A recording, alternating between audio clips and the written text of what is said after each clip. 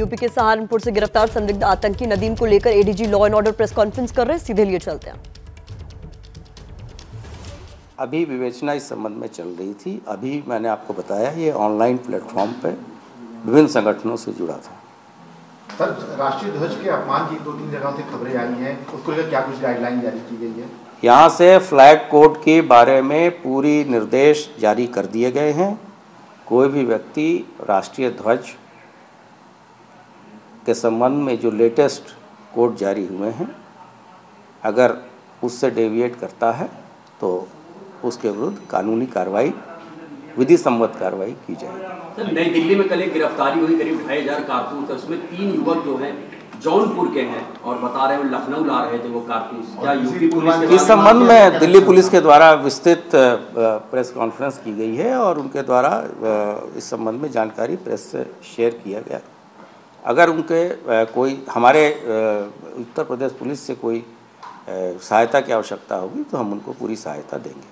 Sir एक गोरखपुर का मामला है जिसमें सीबीआई के डिप्टी एसपी हैं रुपेश श्रीवास्तव। उन्होंने हत्या की कोशिश का मामला दर्ज कराया है और आरोप ये लगाया है कि एक ट्रक ने उनको कुचलने की कोशिश की।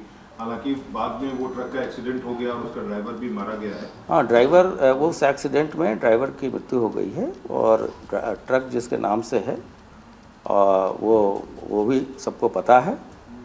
इसके अतिरिक्त उनके द्वारा जो भी सूचना दी गई थी थाने में उसमें हम लोगों ने उचित धाराओं में अभियोग दर्ज किया है। इसमें विवेचना हो है।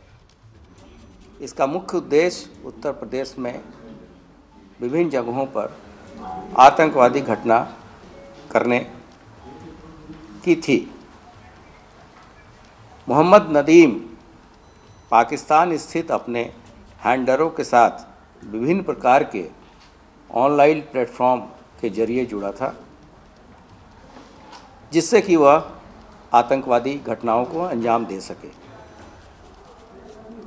सर्वप्रथम 2018 में नदीम का संपर्क पाकिस्तान स्थित आतंकवादी हकीमुल्ला, जो कि एक जैश मोहम्मद का सदस्य है,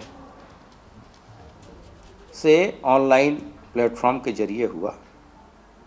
और इसने कालांतर में नदीम को पाकिस्तान और अफ़गानिस्तान के विभिन्न गुटों के साथ ऑनलाइन जोड़ा।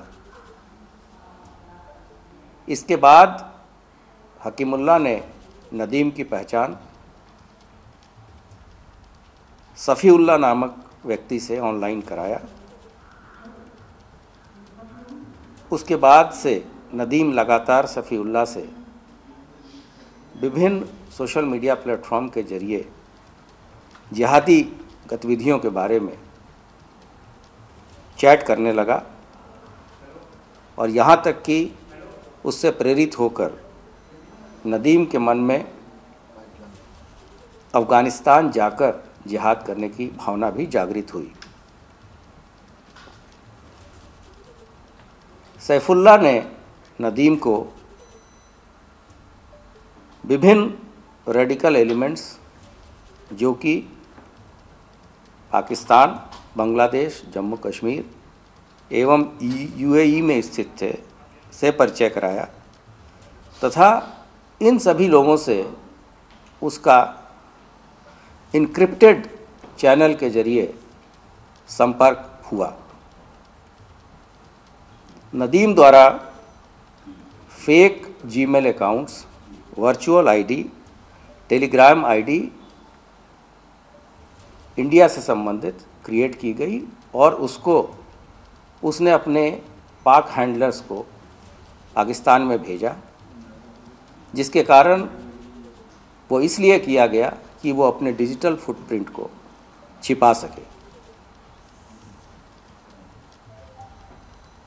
सैफुल्ला द्वारा ही नदीम को आईडी बनाने के संबंध में एक मैनुअल ऑनलाइन भेजा गया, जिससे कि वो आईडी बनाने में निपुण हो सके तथा आवश्यकता पड़ने पे यहाँ आईडी का को ब्लास्ट करके घटना कारित कर सके। इसके अतिरिक्त सैफुल्ला ने नदीम को लोन वुल्फ अटैक के लिए चाकू से वार करने की ट्रेनिंग भी दी और इसके लिए नदीम द्वारा कुछ टारगेट्स भी आइडेंटिफाई किए गए। मोहम्मद नदीम अफ़गानिस्तान पाकिस्तान बॉर्डर पर स्थित विभिन्न हैंडलरों के संपर्क में था, जो उसे लगातार भारत में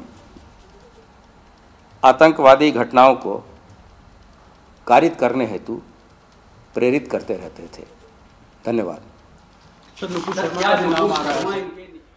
तो उत्तर प्रदेश के ADG law and order Prashant Kumar को आप सुन रहे थे। नदीम की गिरफ्तारी के बाद उससे जुड़ी हुई महत्वपूर्ण जानकारी साझा कर रहे थे मीडिया कर्मियों से। इस वक्त सहारनपुर के उसी गाँव में मौजूद है हमारे सहयोगी मनोज वर्मा, जो नदीम का गाँव है। ऐसे में वहाँ पर किस तरीके की हलचल है? क्योंकि नदीम की गिरफ्तारी हो गई है। कई सारे राज खुलने बाकी है मनोज, लेकिन लोग, लोगों का कहना क्या कहना है? खासतौर पर परिजनों का और पड़ोसियों का। जी बिल्कुल देखिए जो नदीम के परिजन हैं वो बात करने की स्थिति में नहीं है। उनके पिताजी बीमार हैं उनकी माताजी भी बीमार है लेकिन जो गाँव के लोग हैं वो हमसे बात कर रहे हैं और काफ़ी हैरान है इस चीज़ को सुन करके क्या नाम है आपका? इकबाल है जी। इकबाल जी ये बताइए कि नदीम के बारे में जैसे आपको पता चला कि अब एटीएस ने उसको गिरफ़्तार किया एक संदिग्ध आतंकी वो निकला है जैश मोहम्मद का। इस पर क्या कहना चाहेंगे आप? क्या कभी आपको लगा ऐसा नदीम के बारे में आपकी जब मुलाकात हुई नदीम से? हमें तो कभी शक लगा नहीं जिससे। ऐसा कभी लगा ही नहीं भाई इस, इस मामले में उसका कोई हाथ हो। पास में मस्जिद है पंच टाइम नमाज़ पढ़ने जा रहा था। नमाज़ पढ़ कर अपने माँ बाप की सेवा करता, कई साल से उसके माँ बाप बीमार हैं। खाना भी बना भी बना करते हैं दोनों भाई। एक भाई इसका देहरादून में रहा, वो दुकान करे परचून की। टाइम पास कर रहे हैं तो बेचारे जो पैसा था, बीमारी में लगे इनके माँ बापों के घर की हालत इनकी बहुत ख़राब हैगी। अब पैसा भी इन पे इतना भी नहीं है जो कि माँ बाप को कहीं अस्पताल में दिखा दें। ज़्यादा लग ख़राब है इनके इधर की। एटीएस ने जब नवीन नदीम को गिरफ़्तार किया और उसका फ़ोन जब लिया है तो तब एटीएस को ये पता चला है कि 2018 से ही वो जैश मोहम्मद के जो आतंकी हैं उनके संपर्क में था और उसके बाद वो फिर आगे इनसे जुड़ता चला गया। ये सारी चीज़ें उसके फ़ोन से निकली हैं। वो कई ग्रुपों के अंदर जुड़ा हुआ था पाकिस्तान में लगातार बात कर रहा था। फ़ोन तो खुद के पास ही रहा आपस में फ़ोन में वो क्या कर रहा था वो तो पता नहीं किसी को। भाई फ़ोन वाली तो बात किसी को कोई सामने कोई करता नहीं। यानी किसी के सामने आज तक गाँव के सामने कोई ऐसी ने बात करी नहीं ना उसकी कुछ बात साबित हुई। कोई बात आज आज तक किसी मामले में झगड़े में उसमें कोई प्यार मोहब्बत रहना आज तक पूरे परिवार की बात है कि इनकी कोई सामने बात आज तक है नहीं सामने किसी के भी। आप, आपका क्या नाम है? तनवीर। ये बताइए कि क्या आपकी मुलाकात हुई थी नदीम से कभी? देखिए जी सबसे बड़ी बात तो यही है कि वो एक बहुत ही साधारण और गरीब परिवार से है घर में सिर्फ़ माँ बाप हैं।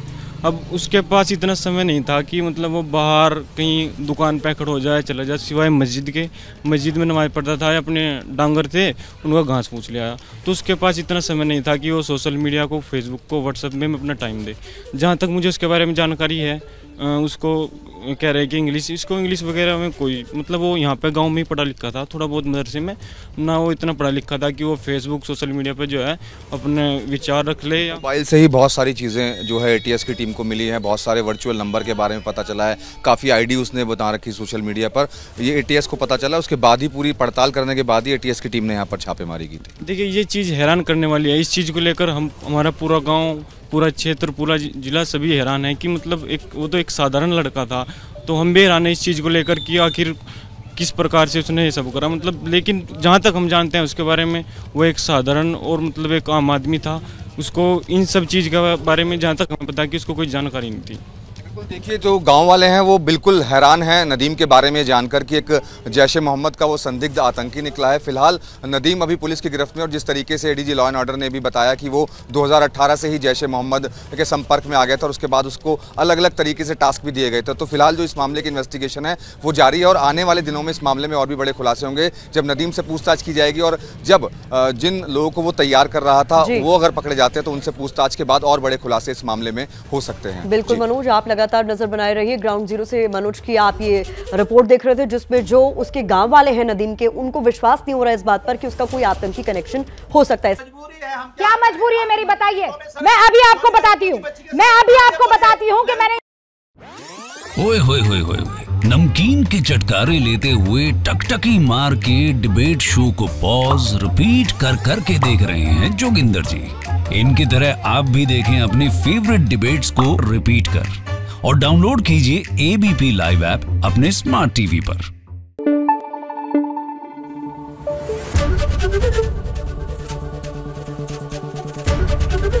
एबीपी न्यूज़ आपको रखे आगे।